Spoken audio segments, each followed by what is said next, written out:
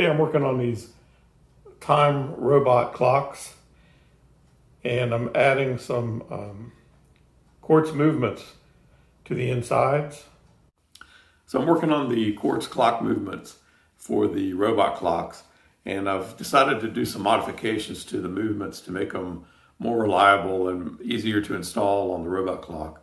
And so I'll show you what I'm doing here.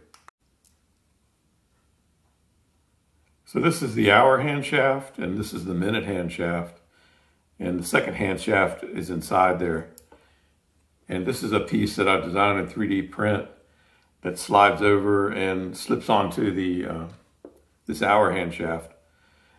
But sometimes uh, I use adhesive to uh, lock it in place, but sometimes the adhesive contacts this minute hand. And it, it, if it does that, it can lock up the, uh, the clock movement. So what I've been doing is removing this piece. This is a metal piece. You can see it has some, some teeth in it there on this end. And on this end, it interfaces with the, um, the minute hand. And it's just actually pushed in place and uh, goes into another plastic shaft that's further down inside. So I'm going to pull this out to eliminate that possibility uh, from happening. And so I just take some needle nose pliers and grab it and pull it out. And so that's what it is on this one. They, they're, the clock movements were a little different. But you can see it's basically the same idea.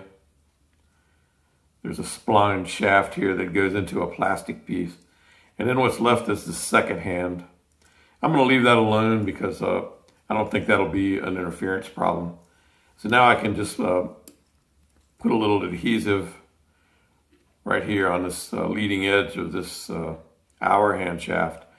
And I can slip this on in place and won't have any problems with it locking up into the, uh, the minute hand.